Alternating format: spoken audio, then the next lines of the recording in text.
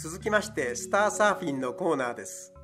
夜空の星や星座を波乗りサーフィンするような感じで楽しみましょう。今回はお牛座のアルデバランとスバルを楽しみましょう。アルデバランの探し方はオリオン座の三つ星の延長線上の右というか西の空に明るい赤っぽい星があります。それがアルデバランです。アルデバランはアラビア語で後に続くものという意味です。